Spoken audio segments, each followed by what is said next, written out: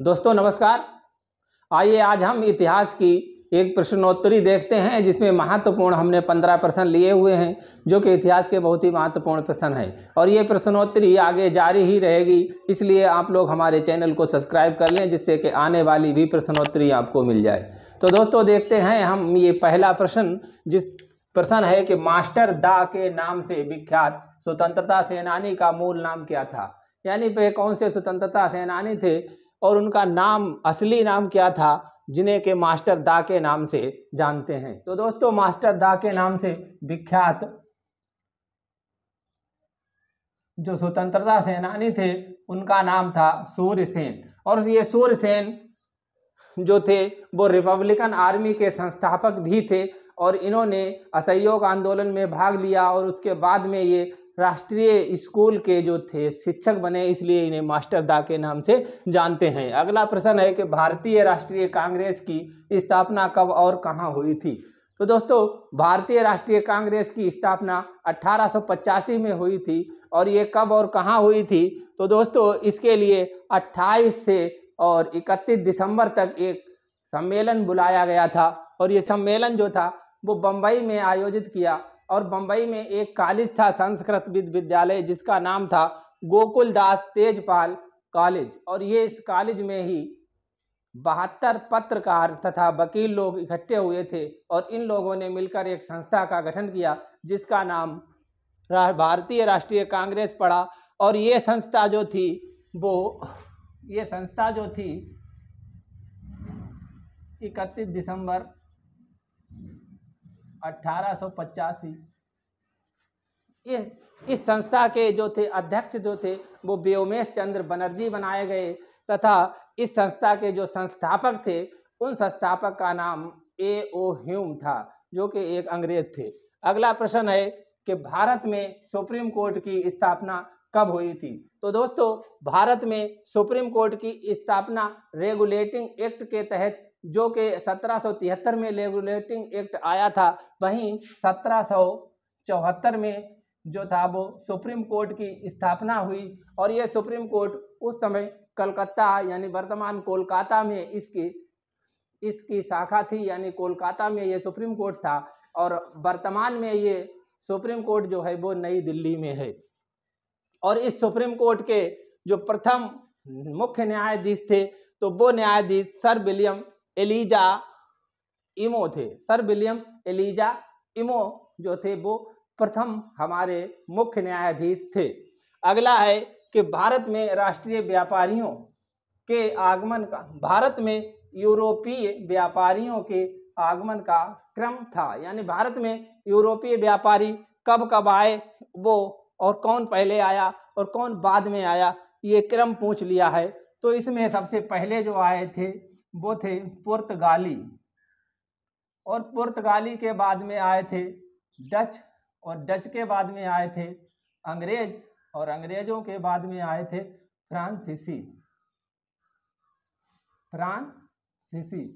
वहीं अगर हम इनके आने की क्रम यानी के सन की बात करें तो ये चौदह सौ और लगभग अट्ठानवे में आए थे, चौदह सौ अट्ठानवे में आए थे और ये जो डच जो थे वो सोलह सौ पाँच में आए थे।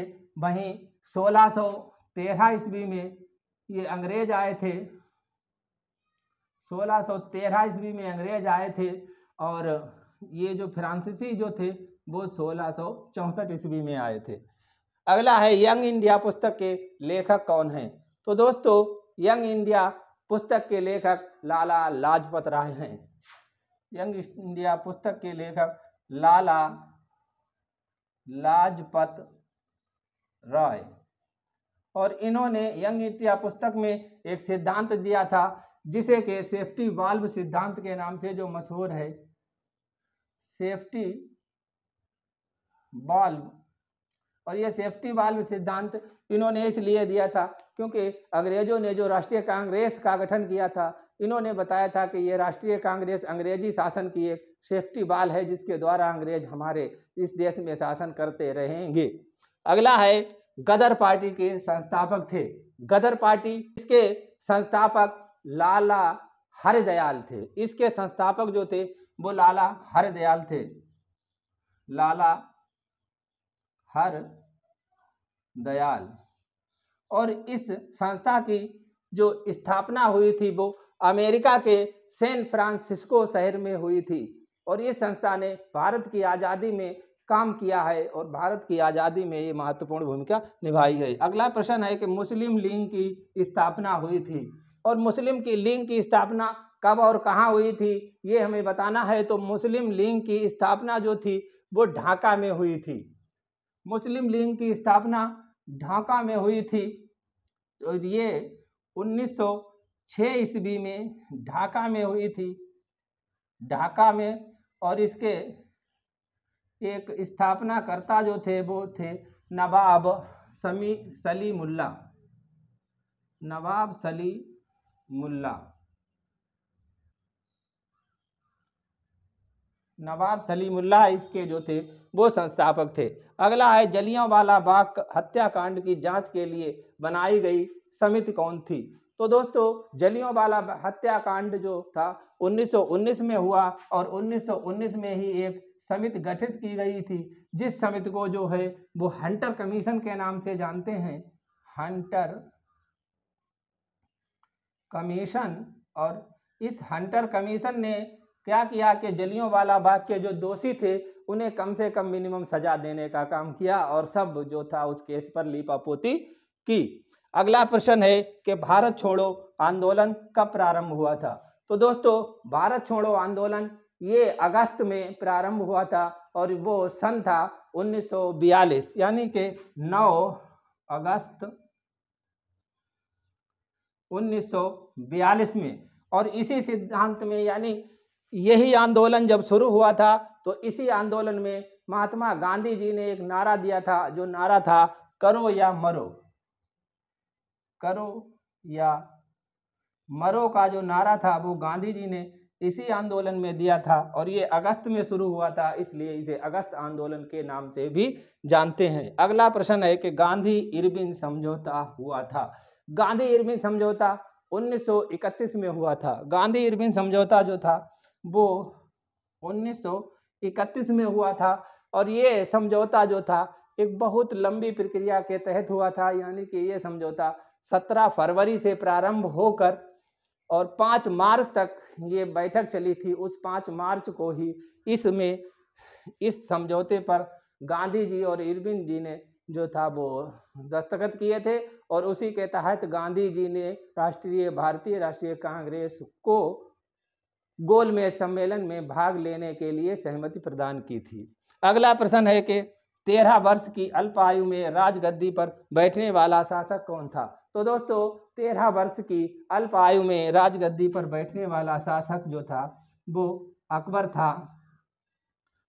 और ये अकबर बैरों खां के संरक्षण में पंजाब में था और वहीं जब इसे पता चला कि हुमायूं की मृत्यु हो गई तो बैरों खां ने इन्हें एक टीले पर बिठा कर और इनका वहीं राज तिलक कर दिया।